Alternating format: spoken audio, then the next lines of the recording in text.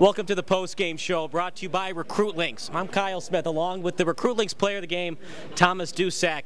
The breakaway overtime goal as Benet wins 6 to 5. Well, I don't think this is how Coach Lee drew it up, but you get the win. Three unanswered goals to win six to five.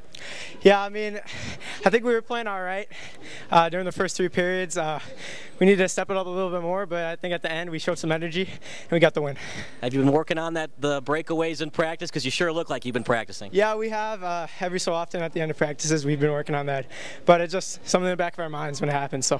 You guys work on three on threes. You guys look like the better team on the three on three than St. Rita in that overtime period. Yeah, we work a lot on the three on threes, four on threes, stuff like that, positioning, uh, and I think it really showed at the end. So. When they were up five to three, what was the coaching staff telling you on the bench when it was a goal scored to make it five three? Keep shooting pucks on net. Keep putting that pressure on. Eventually they'll go in. Just keep putting them in. Eight and one in the conference. What does it feel like? Feels good. Uh, still got a lot of work to do.